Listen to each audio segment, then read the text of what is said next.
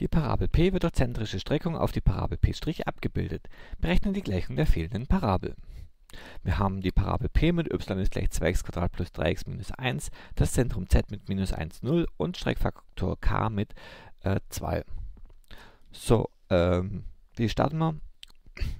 Kurzes Vorwissen aus der zentrischen Streckung. Wenn wir zum Beispiel ähm, den Punkt P haben, der zentrisch abgebildet werden soll, dann machen wir das wie folgt. Wir messen die Entfernung von z nach p, also die Strecke zp, multiplizieren diese mit k und tragen die nochmal von ähm, z aus ab und bekommen hier dann p, den p' raus. Also man kann sagen, die Strecke von zp' lässt sich berechnen aus k mal die Länge der Strecke zp. Genau dieses Prinzip brauchen wir jetzt auch, nur dass wir nicht ähm, die Länge der Strecken zp' und zp nehmen, sondern über Vektoren gehen. Also der Vektor von z nach p' und der Vektor von z nach p, beziehungsweise die Pfeile von z nach p' und zp. So ist natürlich die Frage, welche Koordinaten haben p' und p. Die brauchen wir jetzt natürlich extra nochmal. p liegt ja auf der Parabel ähm, p soll da drauf liegen. Wir nehmen irgendeinen beliebigen Punkt, der auf dieser Parabel P liegt. Also meinetwegen ähm, xy. Ja, irgendeinen allgemeinen Punkt. Und jetzt steht hier schon drin, y soll sein 2x plus 3x minus 1. Also die Urparabel ist gegeben, deswegen können wir jetzt gleich hinschreiben 2x plus 3x minus 1 anstatt diesem y. Von dem P' auf der Bildparabel, also auf der abgebildeten Parabel, wissen wir leider noch gar nichts, deswegen nennen wir den x' und y'. So, an der Stelle auch nochmal aufpassen. Äh, wir haben hier zweimal die Variable x mit drin, einmal hier und einmal hier. Ja, also bei p und so bei p'. Die x-Werte von p und p' sind verschieden. Deswegen müssen wir die, das x auch anders benennen. Ich habe es hier x' benannt. Man kann es vielleicht auch x1 oder xp' nennen, je nachdem. Wichtig ist nur, das muss einen anderen Namen haben, nicht, dass man das aus Versehen nachher irgendwie zusammenzählt. Also das sind verschiedene Werte für x tatsächlich. So, im Prinzip können wir dann jetzt starten. Ich schreibe nochmal die Abbildungsvorschrift hin. Wir brauchen den Pfeil von z nach p' ist gleich k mal der Pfeil von z nach p. So, Pfeile stellen wir auf, indem wir rechnen Spitze minus Fuß. Die Spitze erkennen wir sofort hier anhand des Pfeils, wo die Spitze zu finden ist. Also ähm, starten wir mit P'. Der hat die Koordinate x' und y'. So, Spitze minus Fuß, das heißt Fußpunkt abziehen. Der Fußpunkt ist der Punkt Z mit minus 1, 0. Also schreiben wir das gleich dahin. Ist gleich k mal, also 2 mal. Und jetzt wieder das gleiche Spitze minus Fuß. Der Spitzpunkt ist dieses Mal der Punkt P mit x und 2x plus 3x minus 1. Und auch hier wieder die Spitze ab, äh, den Fußpunkt abziehen. Also minus 1 und minus 0. Minus minus 1. So, durch diese Darstellung erhalten wir jetzt im Prinzip eine obere Zeile und eine untere Zeile. Wenn ich das hier so aufteile, ich mache jetzt mal so einen Trennstrich rein.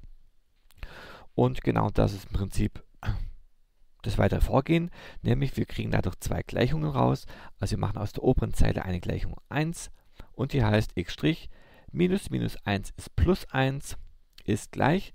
So, dieser Faktor k hier vor diesem Pfeil, der geht jetzt sowohl auf die obere als auch auf die untere Zeile eben im Unterschied zur Bruchrechnung, wo er nur auf die obere Zeile geht, als auf den Zähler, geht er jetzt im Prinzip auf beide drauf. Also zweimal x und hier haben wir nochmal ein Plus 1 stehen. So, das gleiche würden wir auch mit Gleichung 2 machen, also mit der unteren Zeile.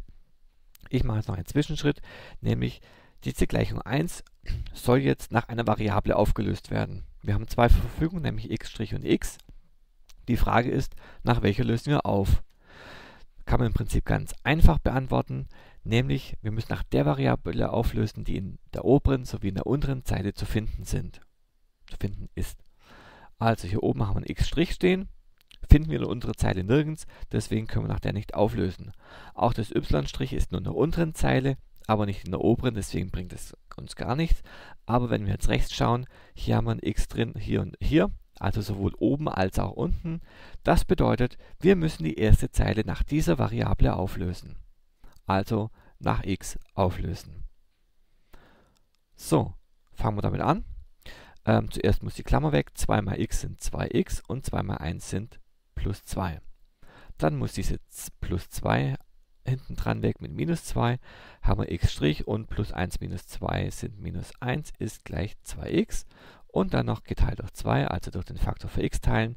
Das kann man jetzt entweder als Bruch schreiben oder wer Kommazahlen lieber mag, sind es 0,5x' und minus 1 geteilt durch 2 sind minus 0,5 ist gleich x.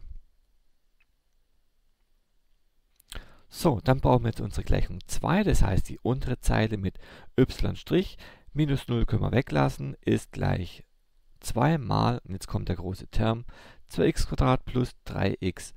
Und jetzt minus 1 minus 0 ist minus 1. An der Stelle würde ich jetzt empfehlen, auch nochmal aufzulösen, soweit wie möglich, äh, vereinfachen, soweit wie möglich. 2 mal 2x sind 4x Quadrat, also 2 mal 2x Quadrat sind 4x Quadrat, 2 mal 3x sind plus 6x und 2 mal minus 1 sind minus 2.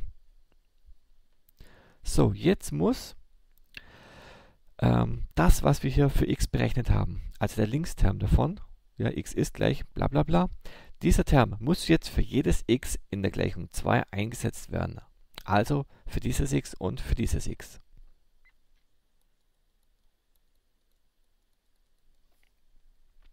Wir beginnen, y' ist gleich 4 mal und der Rest bleibt natürlich stehen. Dieses x wird jetzt ersetzt durch das, was wir oben haben, nämlich 0,5x' minus 0,5, Klammer zu, hoch 2. Dann geht es weiter mit plus 6 mal. Dieses x wird jetzt auch wieder ersetzt mit 0,5x' minus 0,5. Und hinten dran noch eine minus 2. So, jetzt heißt es nur noch vereinfachen. Nur noch ist gut, nämlich wir haben jetzt hier eine binomische Formel drin und hier hinten noch Summenterme multiplizieren. Also der Reihe nach. 4 mal bleibt erstmal stehen, weil dieses Quadrat stärker ist, also binomische Formel ansetzen. 0,5x' hoch 2 also erster zum Quadrat sind 0,25x Quadrat. Jetzt 2 mal erster mal zweiter. Ähm, 0,5 mal 0,5 sind 0,25. Und jetzt nochmal mal 2 sind minus 0,5x Strich. Und jetzt noch minus 0,5 Quadrat sind plus 0,25. Dann Summenterme auflösen, halt Klammer zu noch. Summenterme auflösen, Faktor vor der Klammer mal erster Summand und Faktor vor der Klammer mal zweiter Summand.